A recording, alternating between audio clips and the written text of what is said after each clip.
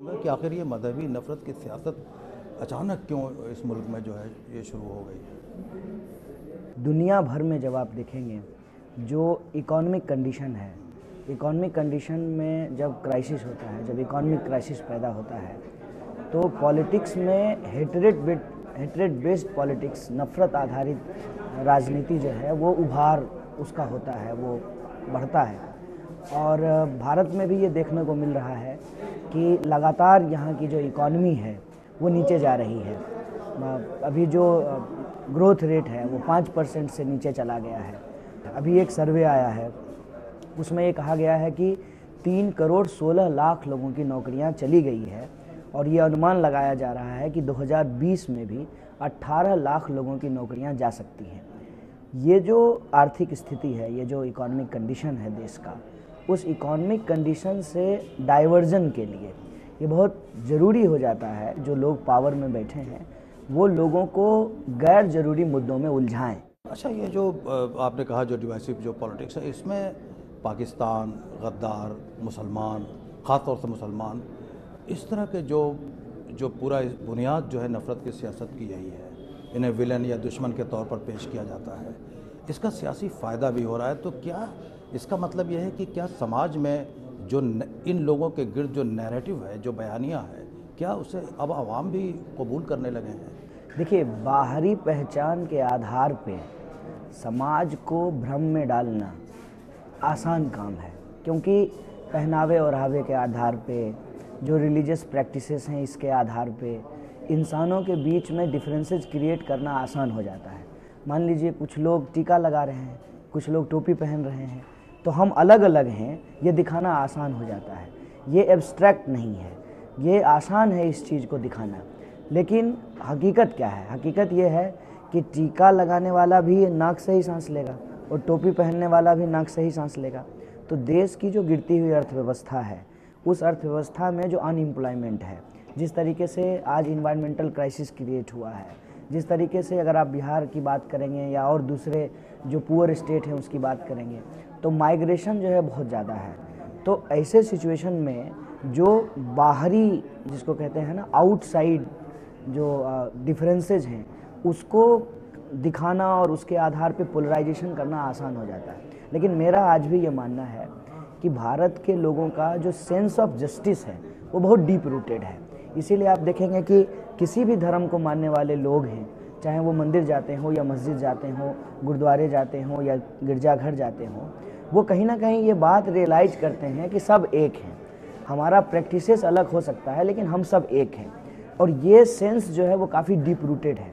इस वजह से जो कम्युनल पॉलिटिक्स है, वो स्ट्रॉन्ग तो हुई है, लेकिन आप देखेंगे कि उसका एक, उस नैरेटिव का एक काउंटर नैरेटिव भी साइमल्टेनियसली सोसाइटी में ग्रो कर रहा है। यानी अगर दिल्ली के इलेक्शंस देखें तो आप क्या ये कहेंगे कि उसी का रिफ्लेक्शन है कि इंतहाई नफरत अंगेज़ माहौल में हुई, लेकिन बीजेपी की ज़बरदस्त शिकस्त हुई।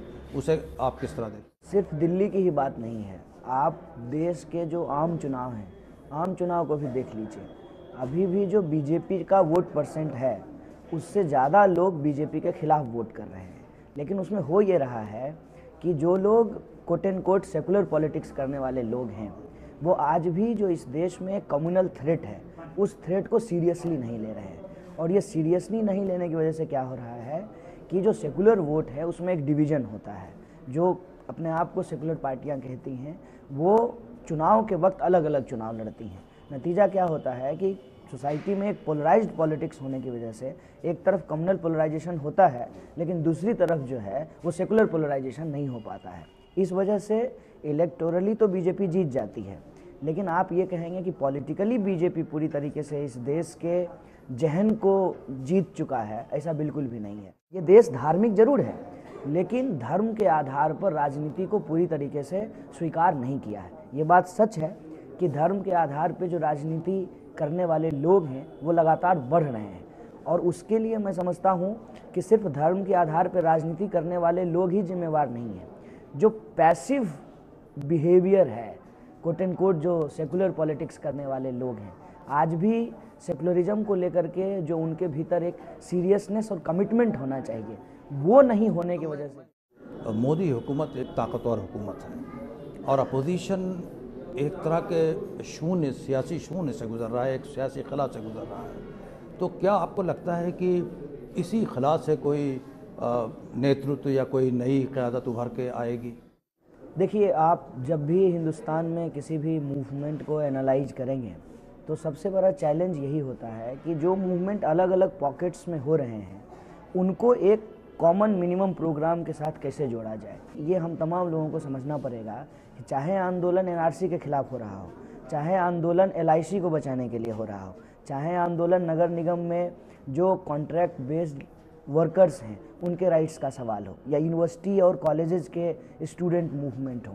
या फिर अलग अलग जगह पे जो जंग जल जंगल ज़मीन को बचाने की लड़ाई चल रही है, जो औरतों के अधिकार के लिए आंदोलन चल रहे हैं, जो आदिवासियों के अधिकार के आंदोलन चल रहे हैं, जो दलितों के अधिकार अधिकार के आंदोलन चल रहे हैं, इनको कहीं ना कहीं आपस में जुड़ना पड़ेगा और ये समझना पड़ेगा कि इस देश का जो पॉलिसी फ्रेमवर्क है, उस पॉलिसी फ्रेमवर्क में एक दिक्कत है। उस पॉलिसी फ्रेमवर्क के चलते ये हो रहा है कि इस देश में मात्र 67 ऐसे लोग हैं जिनके पास 70 फ़ीसदी संपत्ति है देश का। और एक एक कॉरपोरेट घराने का जो बजट है, वो देश के बजट से ज़्यादा है।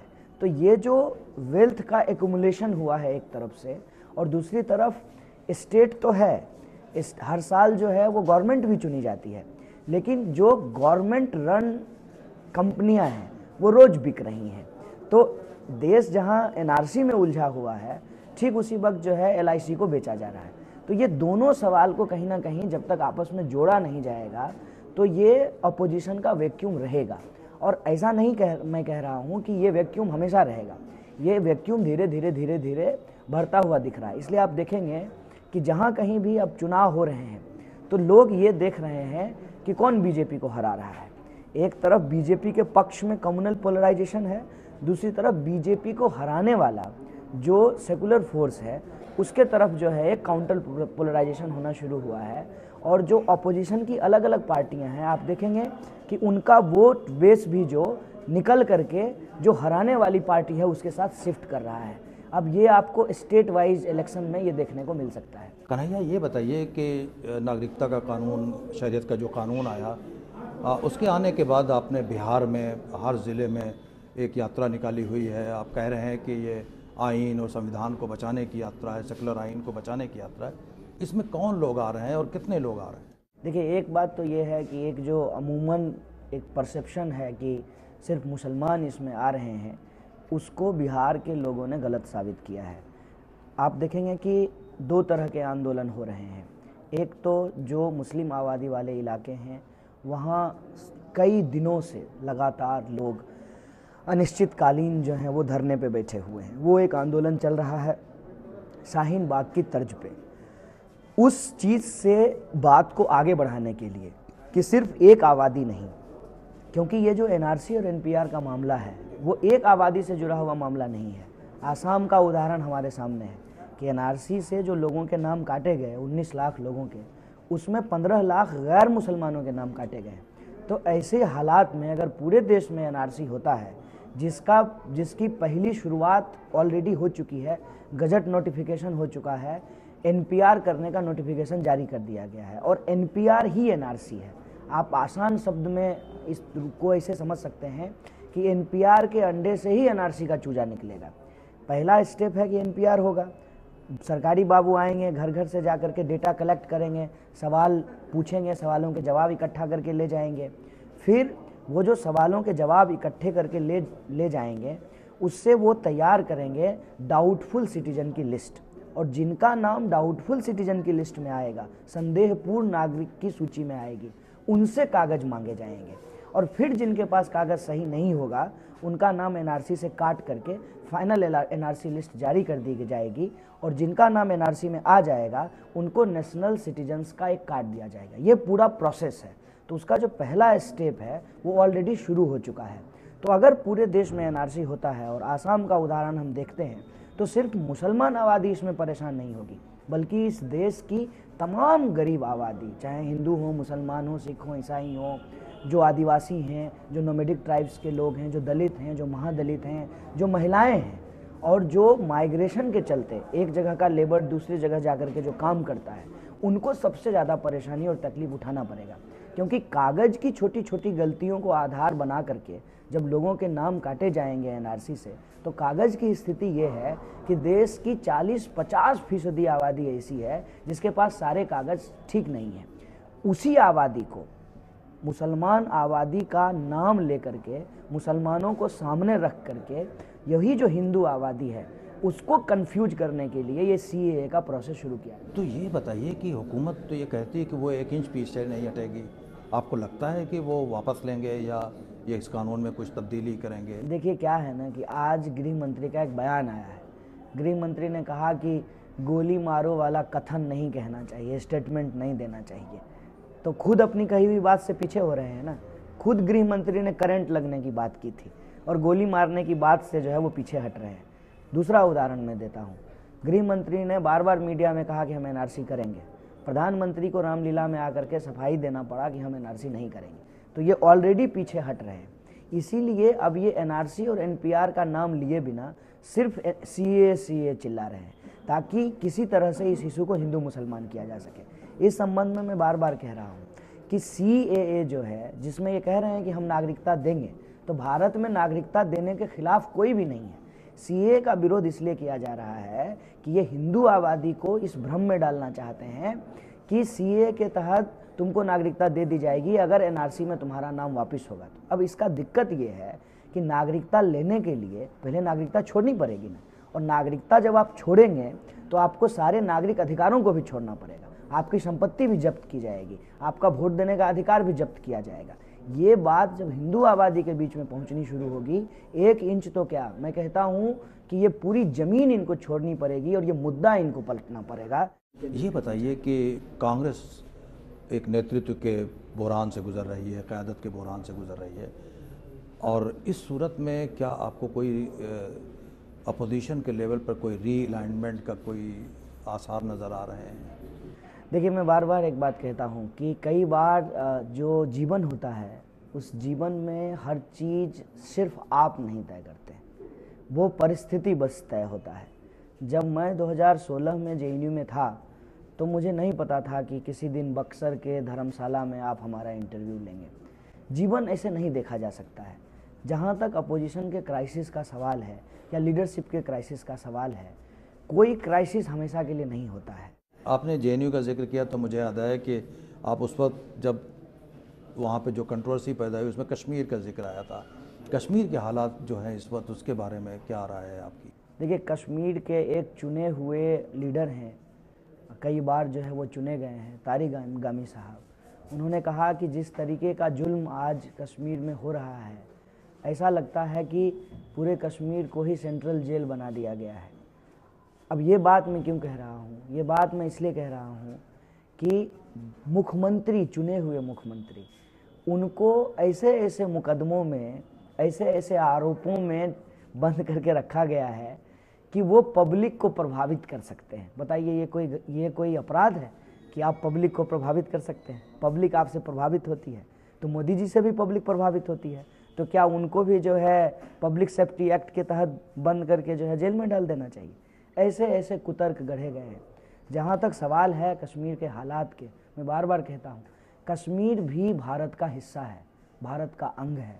कश्मीर के लोगों को भी वो अधिकार मिलने चाहिए, चाहे कश्मीर के मुसलमान हों या कश्मीर के पंडित हों, कश्मीर के डोगरा हों या कश्मीर के गुजर हों। कश्मीर में रहने वाली वो तमाम आवाम, हिंदू, मुस्लिम, सिख, ईसाई, कोई भी आदिवासी, उसको बराबरी का हक मिलना चाहिए।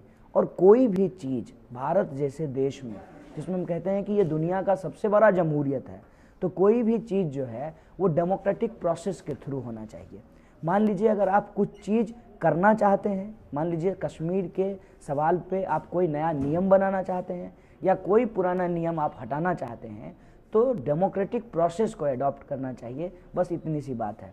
क्योंकि डरा करके, धमका करके लोगों का दिल नहीं जीता जा सकता है। दिल जीतने के लिए मोहब्बत की ज़रूरत है। ये बताइए कि आप हिंदुस्तान का मुस्तबिल आइंदा एक दो बरस में कहाँ देख रहे हैं? किस तरह देख रहे हैं? अब देखिए मैं मैं कोई ज्योतिषी तो नहीं हूँ लेकिन मैं अगर इतिहास को देखूँ भारत के इतिहास को तो मैं समझता हूँ कि भारत में लोकतंत्र की जड़ें बहुत मज़बूत हैं। एक से एक जो है उतार चढ़ाव इस देश ने देखा है।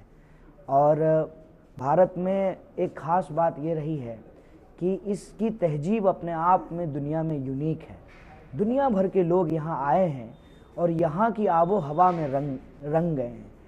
तो मुझे नहीं लगता है कि आज जो ये नफ़रत की हवा बह रही है, वो हिंदुस्तानी तहजीब की असली पहचान है। यहाँ पे सूफी संतों की परंपरा रही है, यहाँ पे जो है आपको नाथ संप्रदाय रहा है और हो सकता है कि आज नफ़रत करने वाले लोग जो हैं इन तमाम तरीके के विचारों पर, कबीर के विचार पे, नानक के विचार पे आप जो है निज़ामुद्दीन औलिया के विचारों पे, वो एक जो है दबाव बनाने में कामयाब हुए हैं। लेकिन ये हमारी असली जहनीत नहीं है। और मुझे पूरा भरोसा है कि ये अंधेरा भी छटेगा। कहते हैं ना कि रात चाहे कितनी भी काली और अंधेरी हो, लेकिन सवेरा तो होगा ही। नशा चाहे कितना भी उम्दा क्यों ना हो, सुबह होते ही उसको उतरना होता है। ये नफ़रत का नशा मुल्क पे चढ़ा है, लेकिन ये नशा भी उतर जाएगा।